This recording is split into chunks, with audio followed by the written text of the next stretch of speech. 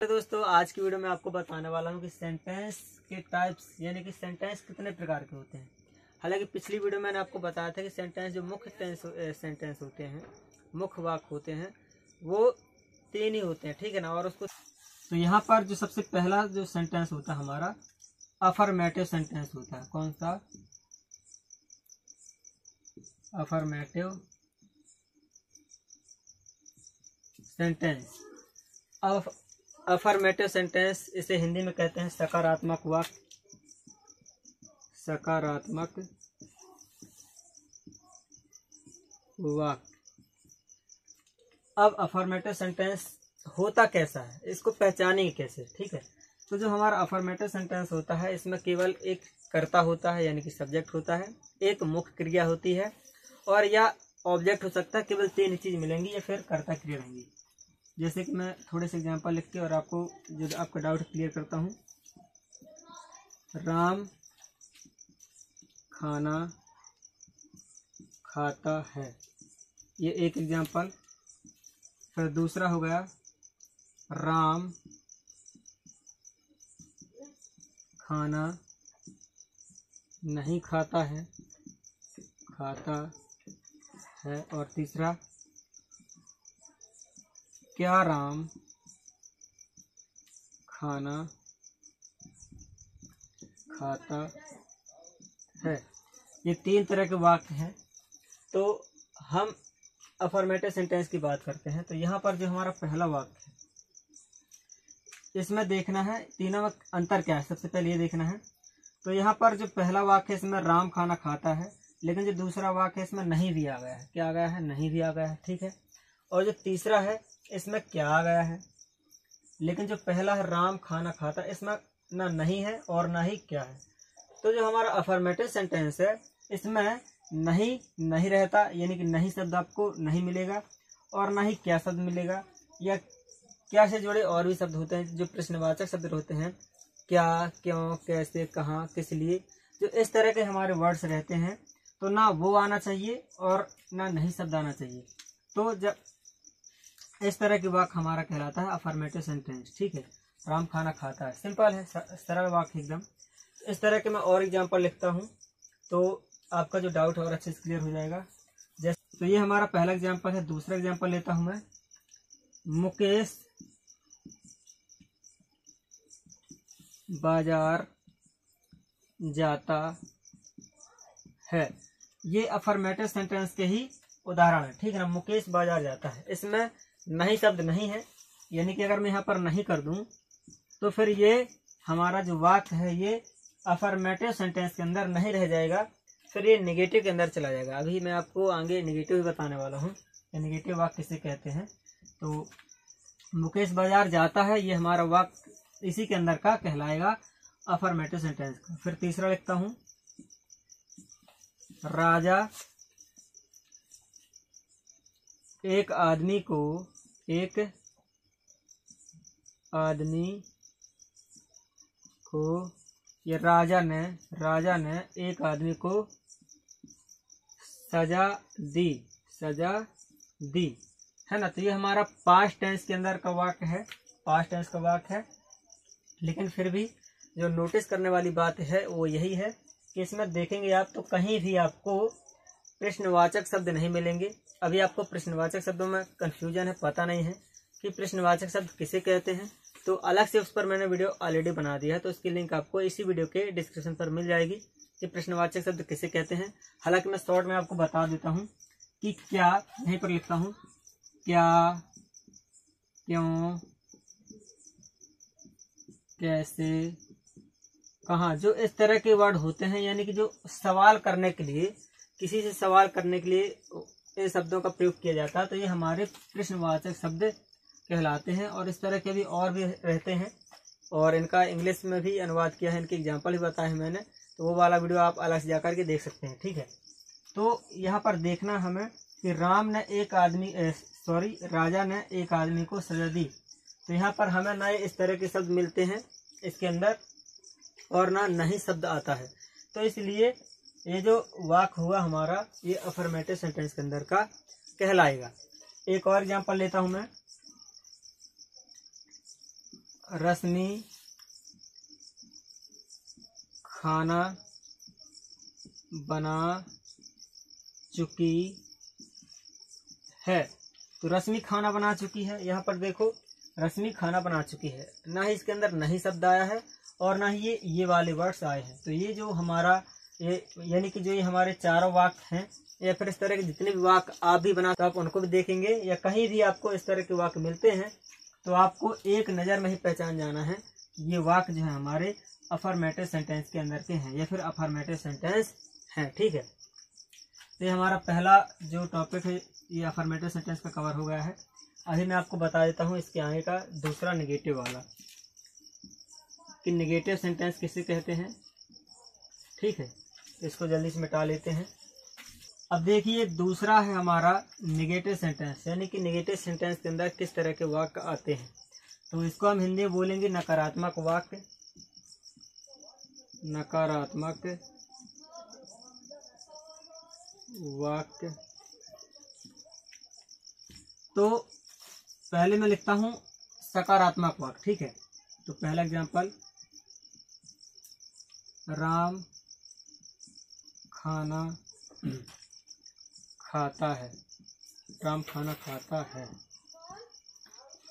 तो राम खाना खाता है। अभी ये हमारा सकारात्मक वाक्य है, या फिर अफर्मेटिव सेंटेंस है। लेकिन जैसे मैं इसके अंदर नहीं डाल देता हूँ, क्या? नहीं शब्द को डाल देता हूँ, है ना? तो ये हमारा नहीं शब्द इस पूरे वाक्य को क्या बना देता है? नेगेटिव सेंटेंस यानी कि नकारात्मक वाक्य। राम खाना नहीं खाता है। तो जब वाक्यों में केवल नहीं आता है, केवल नहीं शब्द आता है, तब उस तरह के वाक्यों को हम नकारात्मक वाक्य कहेंगे या फिर नेगेटिव सेंटेंस कहेंगे। ठीक है? इसके और सारे एग्ज़ाम्पल देख लेते हैं। हम फुटबॉल नहीं खेलते हैं। ये हमारा नहीं आ गया, इसलिए जो वाक्य हमारा नेगेटिव सेंटेंस के अंदर आएगा। नहीं खेलते हैं। फिर तीसरा रहेगा,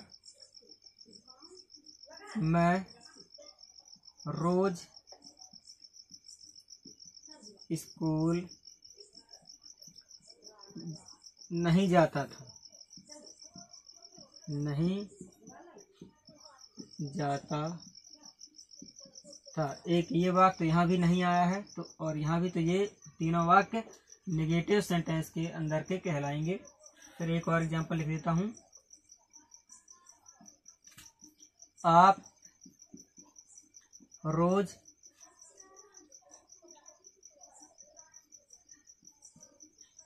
बाज़ार नहीं जाते हो, ठीक है? तो इस तरह के वाक आपने देखा, इनको हम नेगेटिव सेंटेंस कहेंगे।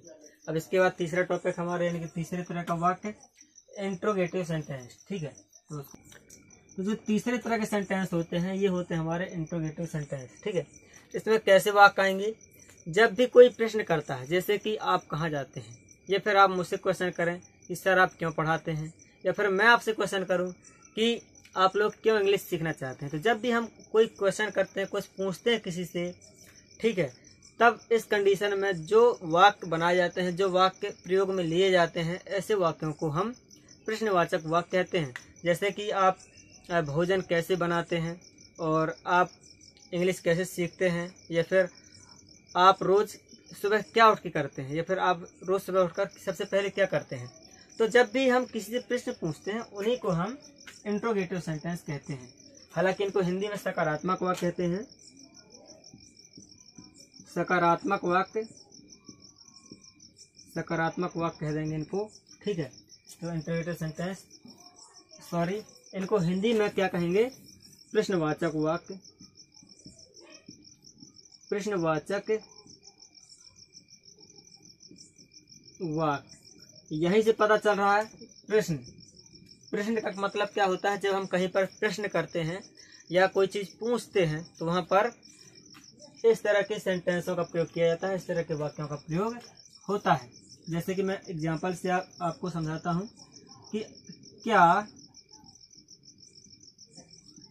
आप रोज इंग्लिश पढ़ते हैं? रोज इंग्लिश पढ़ते हैं ठीक है? तो क्या आप रोज इंग्लिश पढ़ते हैं?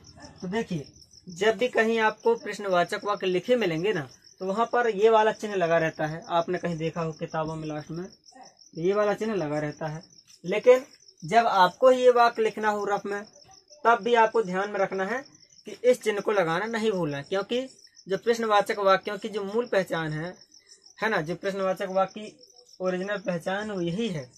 अगर वाक्यों के अंत में ये चिन्ह लगा हुआ है तो इसका मतलब यही है कि वो वाक्य भी हमारा प्रश्नवाचक वाक्य है। दूसरा एग्ज़ाम्पल लेते हैं। वह खाना कैसे बनाती है? कैसे बनाती है? वह खाना कैसे बनाती है? तो देखो, वह खाना कैसे बनाती है, ये भी हमारा प्रश्नवाचक शब्द है। तो आपको प्रश्नवाचक शब्दों को भी याद करना होगा। मैं डिस्क्रिप्शन में सभी प्रश्नवाचक शब्दों को लिख दूँगा। नहीं तो मैंने प्रश्नवाच, मैंने प्रश्नवाचक वाक्यों के ऊपर या प्रश्नवाचक शब्दों के ऊपर अलग से वीडियो बनाया है, जिस पर मैंने प्रश्नवाचक शब्दों को इंग्लिश से भी समझाया है और उसके एग्ज़ाम्पल भी समझाया और सारे।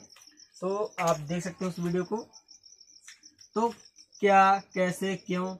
अभी मैंने स्टार्टिंग में ही बताया कि जो प्रश्नवाचक शब्द है किस तरह के होते हैं तो वह खाना कैसे बनाती है, ये हमारा प्रश्नवाचक वाक्य कहलाएगा। फिर तीसरा एग्ज़ाम्पल लेते हैं। राधा, गाना क्यों गाती है? क्यों गाती है? तो यहाँ पर ये हमारा क्यों शब्द आ गया है और यहाँ पर सवाल ही तो किया जा रहा है। आपने देखा कि वह खाना कैसे बनाती है? जब हम किसी से पूछते हैं या आप किसी से कहेंगे, वह खाना कैसे बनाती है? या फिर, राधा गाना क्यों गाती है? तो आप किससे बोलेंगे? अपने दोस्त से या फिर किसी अपने आपसी से? है ना? डायरेक्ट राधा से तो नहीं पूछेंगे। तो जब आप किसी से सवाल करते हैं, किसी तरह का प्रश्न करते हैं तो इसी तरह के वाक्यों का प्रयोग किया जाता है। चौथा एग्ज़ाम्पल है, आप सुबह कब तक सोते हैं? आप सुबह कब तक सोते हैं? तो कब तक भी हमारा प्रश्नवाचक शब्दों के अंदर आता है? और जहाँ पर ये कब तक, जिस वाक्य के अंदर आ जाता है वो पूरा वाक्य प्रश्नवाचक वाक्य बन जाता है। और ये हमारा वाक्य जो है, प्रश्नवाचक वाक्य है। इस तरह के वाक्य हमारे सभी प्रश्नवाचक वाक्य कहलाते हैं। जहाँ पर ये फिर जिन वाक्यों के बीच में प्रश्नवाचक शब्द होते हैं। और लास्ट में इस तरह का निशान लगा रहता है, ये वाला। ठीक है तो इस तरह से हम प्रश्नवाचक वाक्यों को पहचान सकते हैं। कैसे पहचानेंगे? यदि वाक्य के बीच में प्रश्नवाचक शब्द आए होंगे तो पहचानेंगे और ये लास्ट में ये वाला निशान रहेगा। दोनों चीज़ें रहती हैं। ये भी रहेगा और ये भी रहेगा। और हो सकता है कभी कभी कि ये आगे वाला जो शब्द है, क्या, ये क्या ना रहे। लेकिन लास्ट में ये ज़रूर रहता है। ठीक है? तो इस तरह से प्रश्नवाचक वाक्यों को पहचाना जा सकता है। और जहाँ भी प्रश्न करते हैं, वो सभी वाक्य प्रश्नवाचक वाक्य कहलाते हैं। फिर अब चौथा। चौथा हमारा इंटोगेटिव प्लस निगेटिव वाला। उसके भी एग्ज़ाम्पल देख लेते हैं जल्दी से। तो ये चौथा वाला बनता है ये इंट्रोगेटिव और प्लस निगेटिव दोनों को मिला करके इसको बना देते हैं, ठीक है? तो एग्ज़ाम्पल समझते हैं और अच्छे से क्लियर होगा। क्या आप खाना नहीं बनाते हैं? बनाते हैं। देखो। यहाँ पर जो हमारा इंट्रोगेटिव का फॉर्मूला है, वो भी लगता है। जो इंटरगेटिव वाक्य रहते हैं, उनमें क्या, क्यों, कैसे आता है तो यहाँ पर क्या आ गया?